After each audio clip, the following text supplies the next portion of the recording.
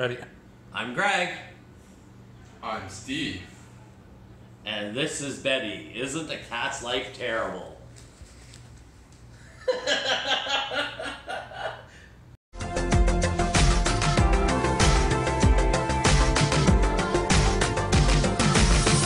Alright, everyone, welcome to another week here on The Den. So, this week we're going to debate and discuss what we think our top five places that we've visited so far in the village are.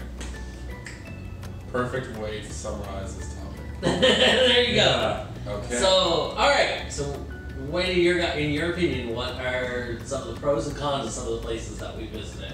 Well, the village itself, like I could definitely tell, it used to have a lot more life, but there's still like a whole lot of stuff that's still happening, which is fantastic. Absolutely. Um, one of the first places I want to put on my list for one of my favorite spots in the village is the Bear Second Cup.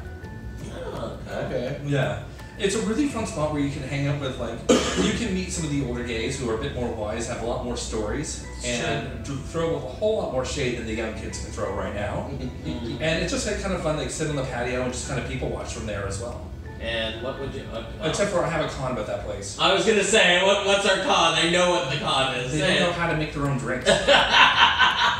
I wouldn't say I wouldn't say they don't know how to make their own drinks, but they, we we we we're like four for four every time we go in there. Our drinks have been messed up. So It's like, I'll have So- iced coffee. What? the at- the atmosphere is great, but uh, the you know the service is a little bit lacking. But, But it's a really fun spot. it is a fun spot. The older bears hang out there, and usually because they're cruising to see who's going into Steamworks. But Yeah. it's true. but you know No what? It's a comment. fun spot, and there's been there's good people that hang out there. Cool. I have one I want to submit uh, Uh-huh. for consideration. The Korean fried chicken restaurant Dakgogi, Dak Yes. Bogey. Oh yeah. which is directly across the street from the Wellesley subway station. Well, pretty much directly across the street. And the pros are the chicken is friggin' delicious. It was delicious. And- I'm not even usually a fan of that kind of thing, but it was it was, It was good. And the fries, the fries. The fries fries were were amazing. like Also- Costco fries. oh, whatever that spicy uh, rice noodle thing that we had. was Yeah, yeah. delicious. I can't remember the name. So the food we found was amazing. The major con is like it very obviously used to be a dance club, and like they haven't really changed it at all. So like you head in, it looks like a bar. You go upstairs, and there's like literally a dance floor, and like the club music, is, the bass is just Oh yeah, pounding. eating fried chicken while just like rocking out to like hard remixes of Kendrick Lamar and Notorious And you have B.I.G. to yell over the music. what? What did you order? What? Well, I got this loyalty, got loyalty inside my DNA. Man, that chicken is good though. Except for that uh, big family of pigeons outside of the restaurant. oh god. Um, mine, I would say my first one will be um, Church Mouse in the Firkin. Oh yeah. Yeah, oh, you're a big fan of the Pros, Firkin? I do. I, I do like the church church mouse. It's uh, kind of it's a British pub. Um, so very British pub fare on the menu. Um, usually good drink specials. Um, I particularly like their bangers and mash because I'm a basic person. Uh, um, what would I say the con is to that place? You know, I, I, I can't really think of an actual con. Of the Really? place. So Yeah. it's perfect. Well, it's not perfect, obviously. but No, there's no, no. there's no, I don't know. It's just like it's pretty standard pub food. yeah, maybe maybe it's a, maybe it's a little too basic. There you It go. is a little basic, Yeah. but That's a good food. point. That's a it's a good nice atmosphere though, and I do enjoy going. I do enjoy hanging out there. Mhm. Well, every time I've gone, I've ordered the buffalo wings poutine. Yeah, I've ordered something pretty much different every time, except I've gone back to the uh, bangers and mash a few times. Yeah. So we talked about the second cup, Dakgogi, uh, and the Firkin. Our neighbors in arms over here. I want to also bring up and remind you of Tokyo Grill, Oh yeah, was- which is a nice little Japanese place, but it's not sushi. And pros are like the food is like affordable and delicious. Mhm. Um, the cons are there is limited seating available. It's like really small. Oh my god, it's but that's still some of the best Japanese food I've had. There you go. Ever. And it was like, despite like, like if you had to sit way in the back, kind of like by the fridges and whatnot, but it was still like worth it, and just the, the price is right too. Mhm. Okay, Dead Dog Records. Oh. Um, I'm a big record collector, but the main thing I'm looking for is albums that are like very important to my youth. And I had the gayest find the other day. He just wanted a reason to show the record. Yes, I do. so, yeah, gayest thing I could possibly find. But what's gayer than this? It's a This. Pink vinyl. pink vinyl. But they have an amazing selection there, and the prices are the price is right. It's like I loved Taz back home, but I don't know. I just find this place is just a little easier to navigate. Well, if we're not gonna include places that aren't restaurants, obviously the men's room is one of my favorites. Um, Yeah. It's a unique shop that is upstairs from one of the bars, and they have a barber shop with excellent hairdressers that do my hair, and I love them. And they also sell like sex stuff. they have like um, Fetish gear, leather, fetish. But it's not just that. They also got like beard oils. Well, I was gonna They say, yeah. they have like personal lubricants right next to the beard oil, right next to uh, the like uh, skin lotion and stuff like that. It's just a crazy mix. And then they have like leather gear, but they also have like Brooklyn Heights t-shirts Yeah. and awesome stuff like that. The staff And there. fans that say "woof" on them. The staff there are so much fun. Like All the friend I found the other day that said, and, and it, really, it literally said, and every kiss begins with K. Nice. I wanted to say, like, the staff at the men's room are amazing. They are so much fun. There's so Mhm. much conversation just flowing there. You can tell they love their jobs, and I really enjoy just hanging out there, just kind of And if, you, and if you need an, a personal opinion about how something looks, though, they're not afraid to give it to you. So, yeah, yeah, yeah, I agree. So, what's the con? there is no con oh no, there's gotta be a con. Uh, con number one is like a lot of the stuff doesn't fit me because like You're they don't bigger guy. carry huge sizes. Like they usually go up to like an XL maybe, but that's a little too small for me. Uh, I can't really blame them for that, but it does make shopping there a bit of a pain for me. Yeah. also, it's upstairs, boo stairs. Yeah. Um, staying we- along those lines, I'm going to say out in the street. Such a great store. Yeah, so it's a it's a three layered store, um, much like men's room. They basically carry everything you could think of, like that. They they have cute underwear, they have sex toys, they have they have fetish gear, they have bathing suits, sunglasses, like shoes, like they have basically everything you could think of that you ever want for gay apparel. It's a three floor floor store um, which also has an online component. So this is where Derek will post down below the link to Yes. the online store. Right here. Um, um, so it, it- and it's all the staff is fully uh, gay and queer staff, so it, it's fantastic. It supports the community. Um, what would I, I'd say the drawback is I, I mean much like the men's room, I would say you probably found the same thing that they didn't carry bigger boy sizes. I mean, stuff above XL was uh, was kind of lacking.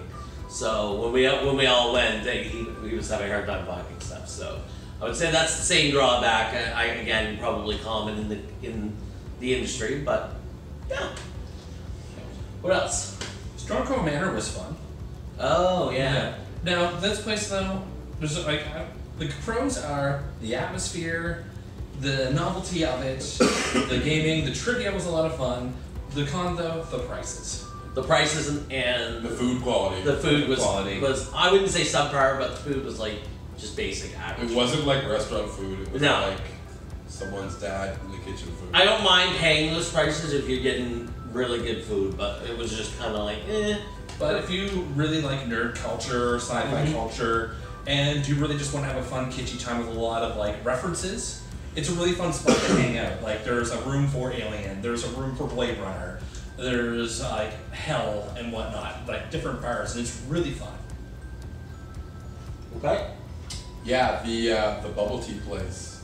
There's a bubble tea place that's like just on the outskirts of the village. Uh, it's uh, Derek hasn't heard of this yet. He's already. young, He's told me about this place. and what's the street up from Wellesley? Got Gloucester, wasn't it? Gloucester. Yeah, but uh, on the west side. And anyways, it's called the Alley. The you wouldn't know that it's a bubble tea shop because it has a picture of like a deer on it. You go inside and they have like really good. It was bubble really good. tea. I would recommend the Deerioca, which is what I got, and it was fantastic. Uh, Drawback. the so the pros are amazing bubble tea, uh, like top tier that you can't normally find. Drawback, I would probably say is like it's a little expensive. I think for our two Yeah. medium bubble teas, it came out to twelve bucks. Yeah, they were six dollars a piece. I saw that. Yeah. Um, man, if you're ever like hankering for some real bubble tea, that's the place to go. Um, so we got a couple of places that are pretty much right next door to us. And hold on, Yeah. bonus, we cannot omit Olympic 76 pizza. Yes.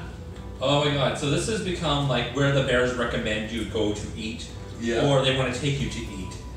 Just like you can go there and get the biggest freaking panzerotti yeah. uh, with the meat portions. sauce all over it, whatever toppings, you, whatever fillings you want inside, and it's like thirteen dollars. Yeah. Yeah, it's really good. Huge portion sizes, good prices. Um, Downsides. I, I would say if I were to say there's a downside, it's the the atmosphere is a little dated. Yeah. No, I think that adds to the charm. Do you think? I think that adds to the charm. I, I don't agree. there is no cons. I think I think I think I think it's a need a bit of an upgrade. You can still have the old style look, but not look old. You know what I mean? I don't know. I think it adds to the charm of the place. Well, we, I guess we'll I give it a toot. we will agree to disagree on this one. What's your con then for it? I don't have any cons for it. It's just like it's great food, great Just love prices. It, it, it gets a toot. All right. Um, Um, so the two places that are close to us that we probably have visited the most are O'Grady's, which is directly next door to us. You want a good cheap brunch? Going through the week, nine o'clock to eleven o'clock, Yeah. six dollars. They start serving, so the bar opens at 9 a.m. They start serving uh, brunch at 9 a.m. Um, uh, every day of the week. Um, they on weekdays they have like a cheap six dollar brunch, which is awesome.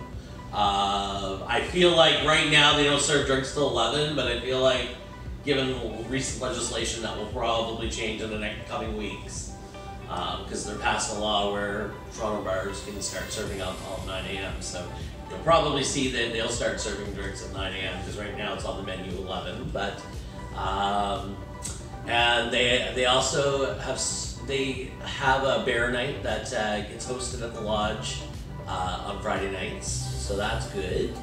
Um, they have a nice patio. So those would be all the pros. Um, what, what would you say the cons are? I think I know. What, what say it.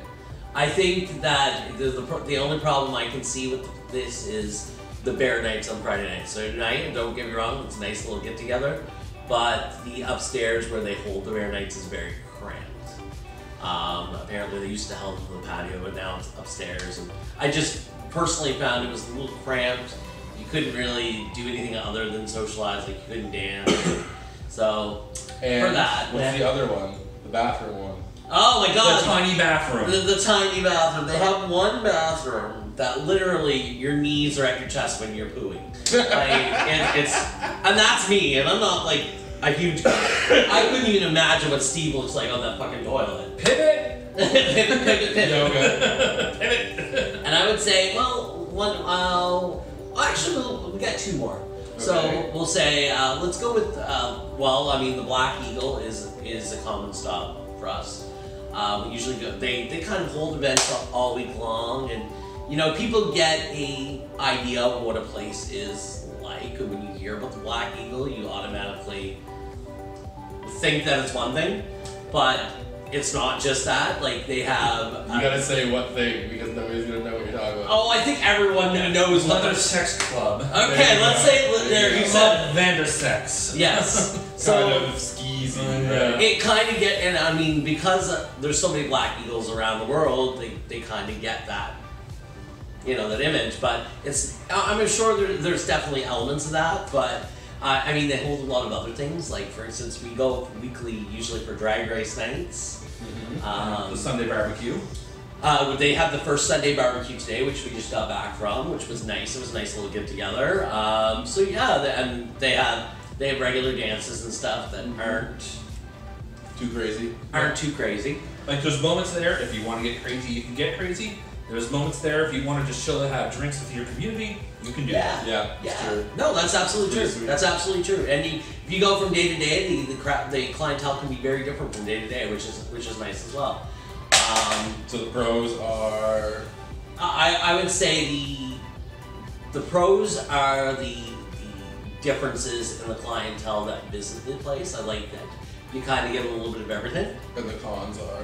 That because you get so many different kinds of groups, sometimes you you can kind of feel left out. Fair enough. Fair Yeah. enough.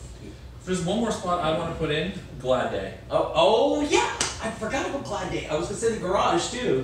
Wow, we got so many. How are we gonna go that Okay, fun? so Glad Day and Garage. Glad Day is a bookstore. It's the oldest LGBT bookstore in North America, and they hold dances. It's uh, seminars. It's a lot of fun. Mm-hmm. And to throw in the garage, garage is a, is a drag bar, which it looks like a garage. Yeah, and they and they have they have regular karaoke nights. Um, yeah, so it- it's a it's a got a good atmosphere. And atmosphere. pretty much a lot anytime you walk by there, there's a drag performance. Yeah, absolutely, Yeah. absolutely. You know, They'll open up the garage doors and some drag people come out the garage door Yeah. on the front of the building. Yeah, yeah. So that's it's kind of cool. Sorry to make those ones quick, but it's a long video already. It is a long video. So now we I think what we should do is pause the video here yeah and then go get a piece of paper and like vote on which ones are our top five. yeah. And then come back with our conclusions. All right, cool. So we will be back. We'll be uh, blah blah blah blah blah blah. Okay.